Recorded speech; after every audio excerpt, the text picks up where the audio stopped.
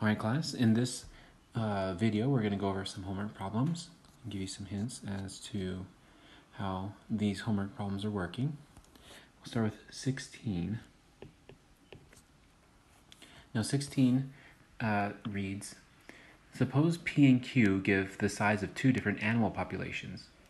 Explain what each of the following expressions means in reference to the animal populations. Okay. So P and Q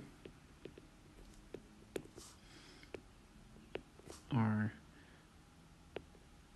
the number of animals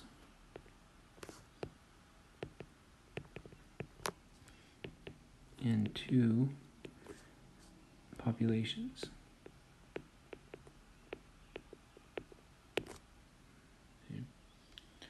Now in part A, we need to talk about what P plus Q means.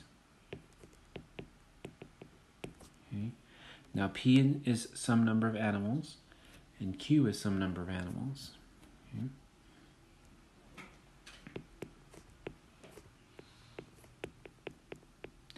So P is the number of animals.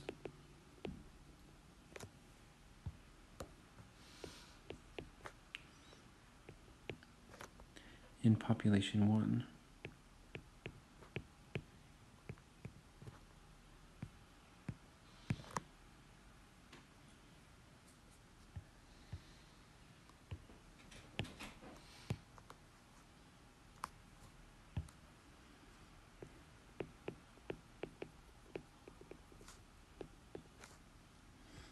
Q is equal to the number of animals in population 2.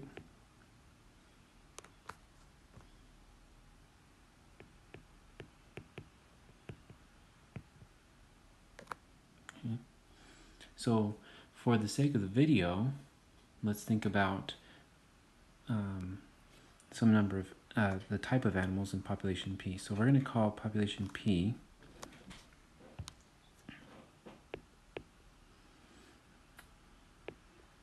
P is equal to number of wolves and Q is equal to number of deer. Okay, so let's think about that. Hopefully that example might help us. Okay, so P plus Q is now going to be the number of wolves, and Q is the number of deer.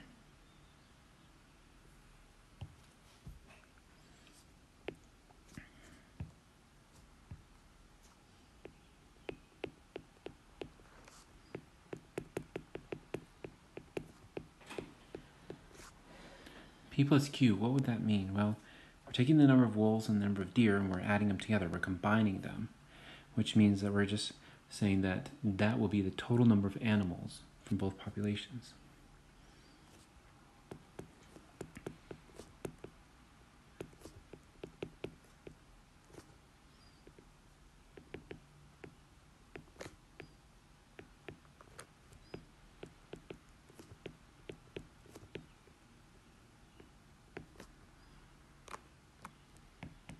Or we can see that's the total number of wolves and deer together.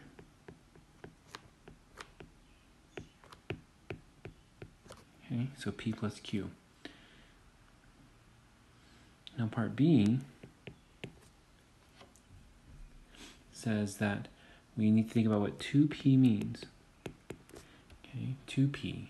So I have P is population of wolves, and 2p means twice the population of wolves. Okay? So p is the number of wolves. Therefore, we have 2p is twice the population of wolves.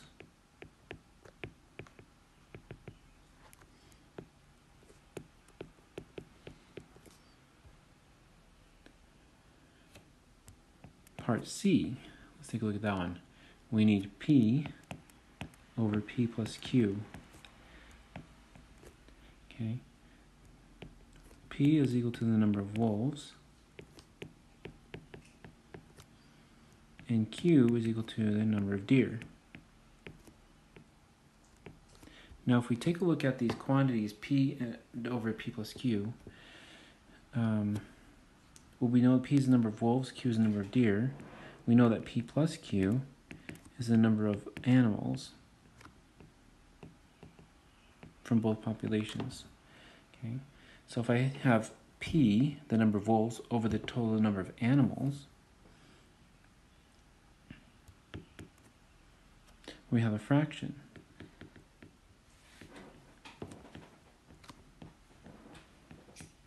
Okay, the fraction of the number of wolves.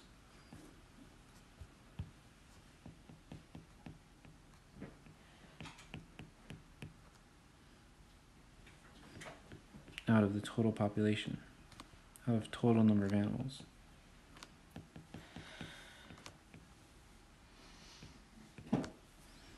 Okay.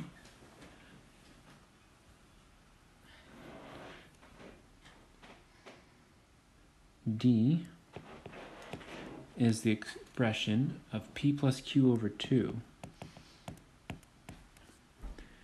Now we know that p plus q is equal to the total number of animals.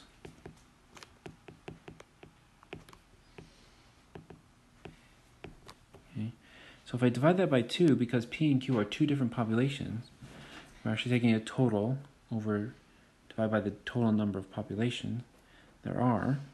So what, what P plus Q over 2 is, so yeah, so the 2 equal to number of types of animals.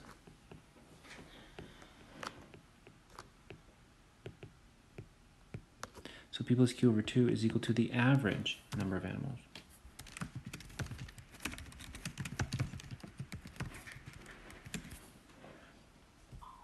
In both populations.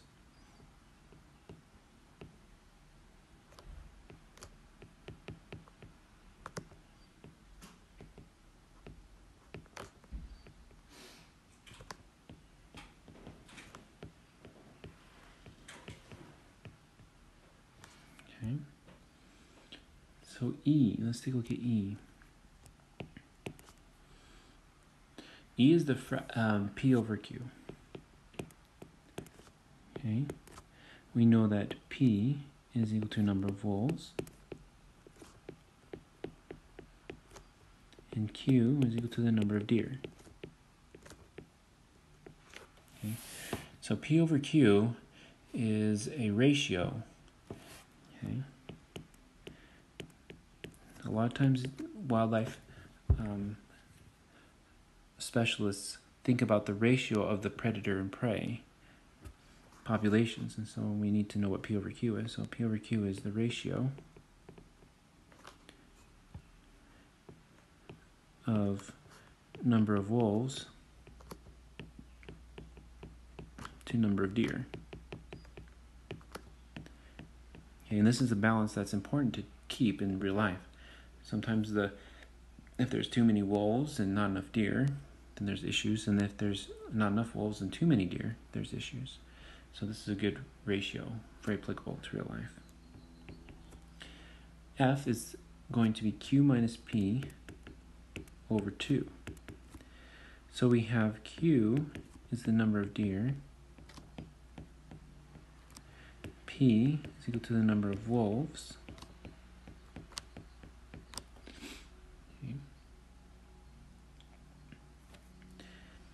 Q minus P over 2, what could that mean?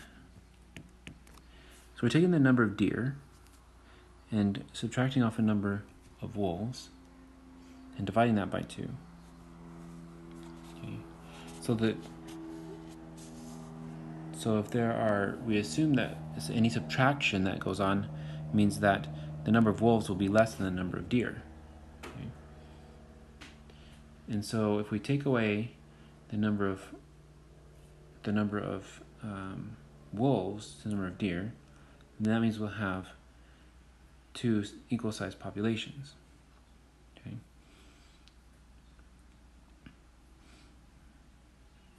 So what it is is that you're taking the amount of number of wolves you have to take from the number of deer. Okay.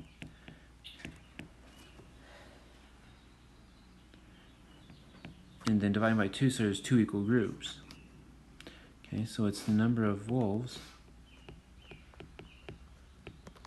you have to take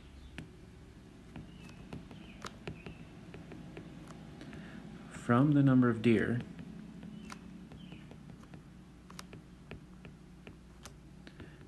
to get the same size population.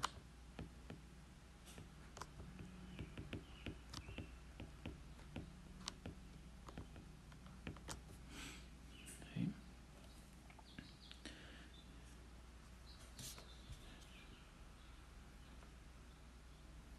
That's number 16. Okay, the next one, the other homework problem we'll go over is number 17. Now in number 17, we have, suppose P and Q give the size of two different animal populations, where Q is greater than P. In A through F, say which of the given pair of expressions is larger. Briefly explain your reasoning in the terms of the two populations. Okay, so we need to say which is larger. Know what we are going to compare in the first comparison? Well, we're going to compare, um, let P equal the number of wolves, population P, and Q equal the number of deer. So this is a again a pretty realistic situation because there are usually more deer than there are wolves in a given environment. So we're going to go and compare P plus Q and 2P. Okay. P plus Q compared with 2P. Okay. So because Q is greater than P, Okay, this one's greater. We're going to add that to population P. And then this one is just twice P. Okay, so we're going to keep that in mind. We can actually uh, use algebra to help us with this one because we can rewrite our inequality to, to P plus Q compared with P plus P. Okay, And because of the uh, rules of algebra, we can subtract the population p, or the number of uh, wolves there are, from both sides of our inequality. And we can actually just, we, what we actually have left is q compared with p. Okay? And so we know that q is greater than p. So our answer is going to be greater than. But anyway, if you have population q, which is more than p, and adding it to p, then you have, you also have two p's. The greater population will make the side with q and p greater than the side with just 2p. Okay? So there's a couple of things there. So we can kind of uh, briefly say that because q is greater than p, then p plus q would be more than just p plus p.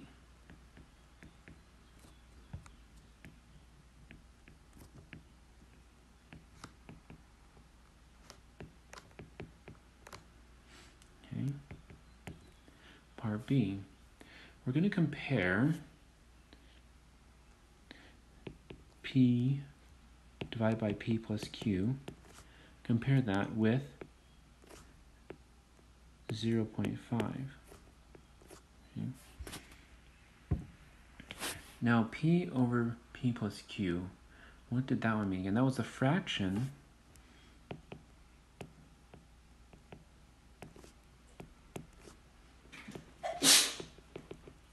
that was a fraction of the number of wolves the wolves over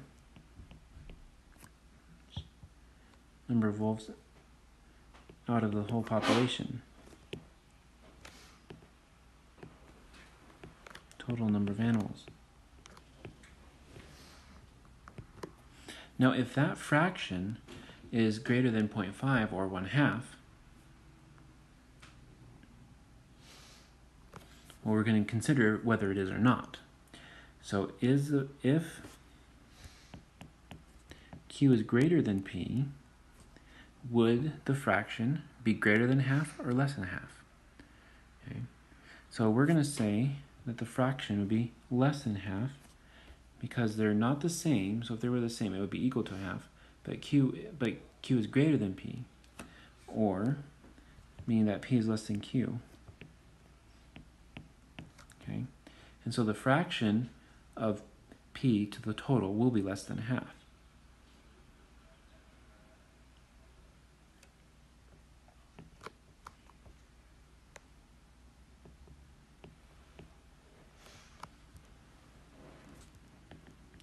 So if q is greater than p or p less than q, then the fraction of, of the number of wolves to the whole population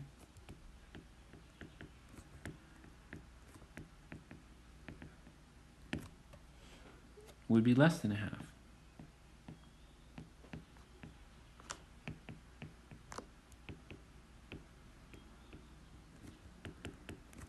or the 0.5. Okay. Part C. P plus Q over 2. Compare with Q.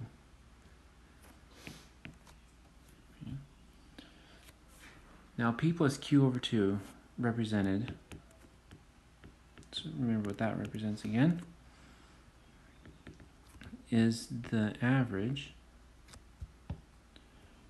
number number of wolves and deer.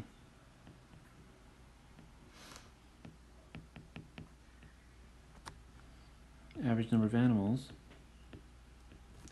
in both populations.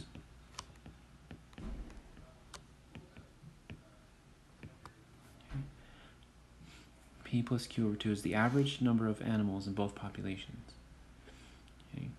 And would the average be, uh, how would that compare with just the amount of Q? Now if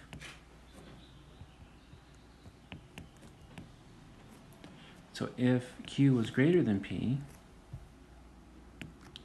then the, the average would be less than the amount in Q. Okay.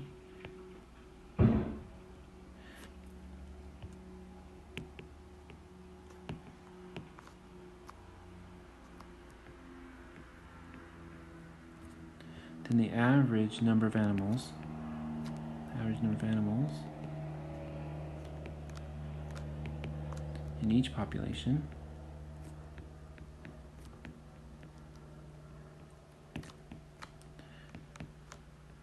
would be less than the number of deer okay, because the number of wolves is pulling that average down. Okay.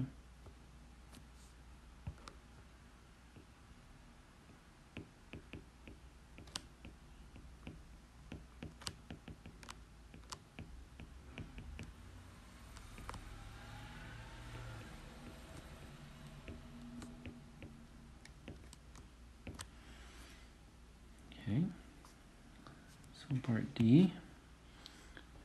Now we're going to compare P over Q to Q over P. Okay. Now recall that P over Q is going to be the ratio of number of wolves to number of deer. Q over P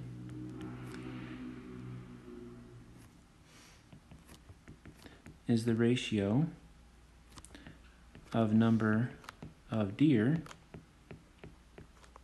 to number of wolves.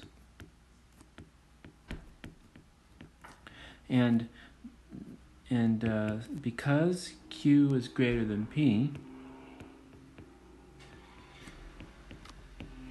okay, we know that there, we know that P over Q is going to be less than 1.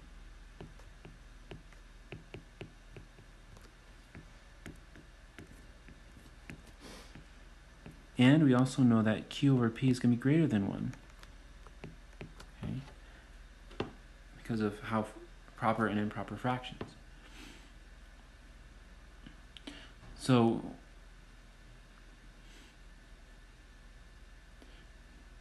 we then therefore conclude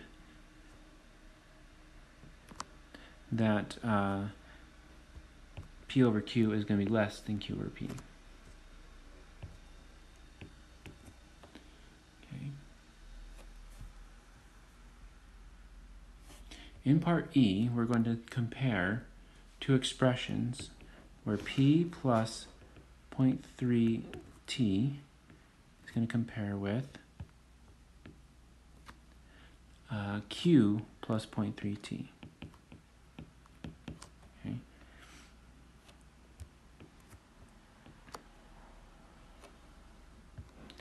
Now let's think about these uh, expressions here. We're adding on, we had q and p. Okay. So because okay, if q is greater than p, p is going to be less than q. Because p is less than q, then we're going to use, we're just adding the same thing to both sides of this inequality. So by the addition property of equality,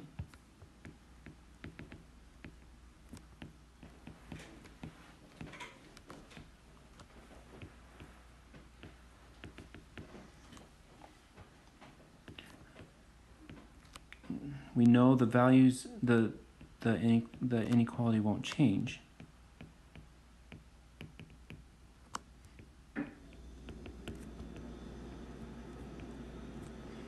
If the same thing is added to each side.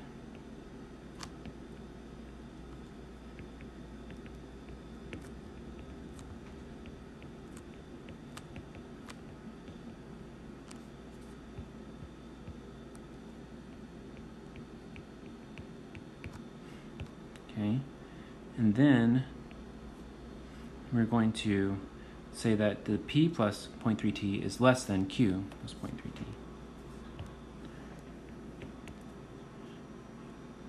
Okay, in part f, we're going to compare these expressions, q minus p over 2 compared with q subtract p over 2. Okay? So these two expressions. Now, q minus p over 2, if we recall,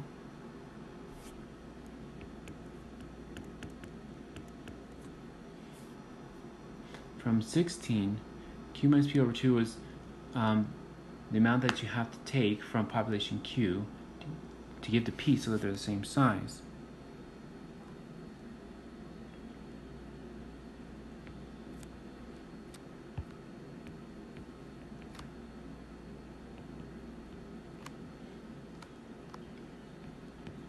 So it's the amount from Q. So P and Q are the same size.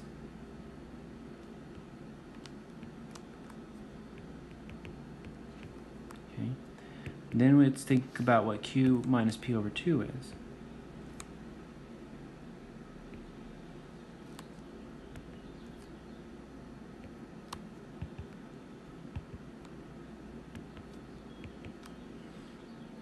So we have the population Q, we're taking away half of P.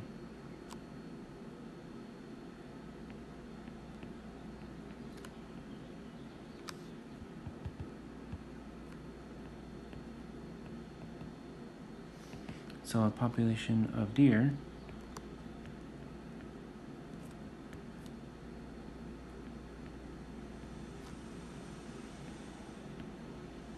minus half the wolf population.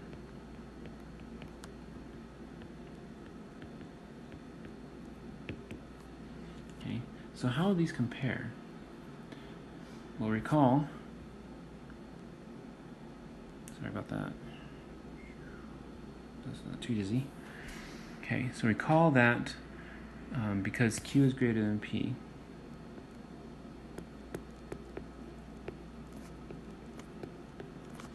okay, we can change. Let's go ahead and do some modification here. We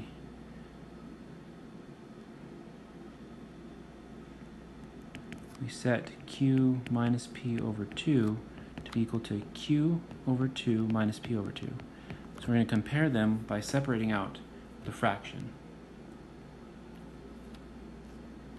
Okay. So we're going to compare q over 2 with minus p over 2 with q minus p over 2. So q over 2 minus p over 2. It's going to be more of an algebraic comparison.